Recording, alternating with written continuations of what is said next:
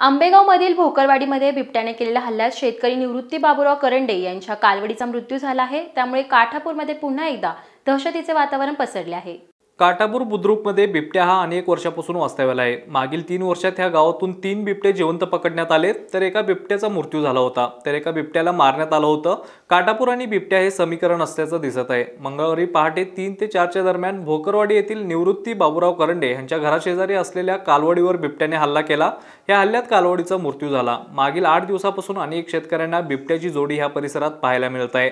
दिवसाही हे बिबटे शेतकऱ्यांच्या नजरेस पडतात त्यामुळे शेतकरी वर्ग भीतीच्या छायेत आहे. शेतकरी रात्रीच्या वेळी शेतात पाणी भरण्यासाठी जात नाही तर काही शेतकरी जीव मुठी धरून शेतात जातात. ह्या ठिकाणी दोन बिबटे असून मागील आठ ते दहा दिवसापासून ह्याच परिसरात वास्तव्याला आहेत.